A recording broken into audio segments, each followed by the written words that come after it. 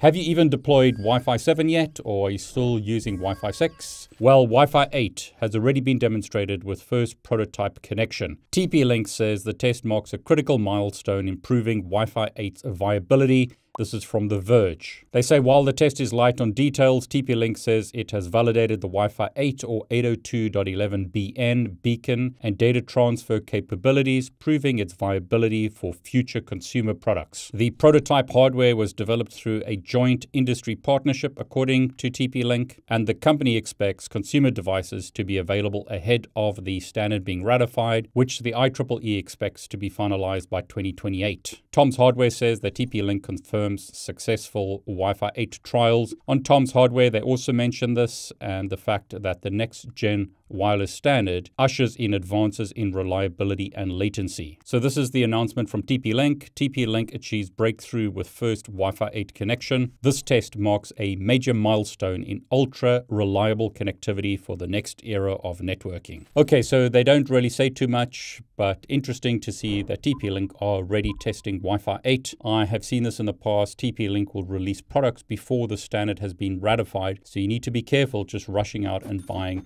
various Wi Fi devices, even though they claim to be the latest, like Wi Fi 8. But at home, perhaps you don't worry too much about that. You just want the best speed, the most reliability, etc. One of those benefits is seamless roaming. When you roam from one access point to another, it's supposed to work a lot better in Wi Fi 8 than in previous Wi Fi standards. Be interesting to see what happens in the future. But what do you think about this? Would you buy a TP Link router? I mean, there's been a lot of talk from the US government and other places about not using TP Link, but I know that they push the boundaries when it comes to implementation of Wi Fi options. What do you think? Do you even care what Wi Fi you're using at home? Perhaps you're still using Wi Fi 5 or Wi Fi 6. Are you even using Wi Fi 7 these days? And, you know, would you upgrade to Wi Fi 8?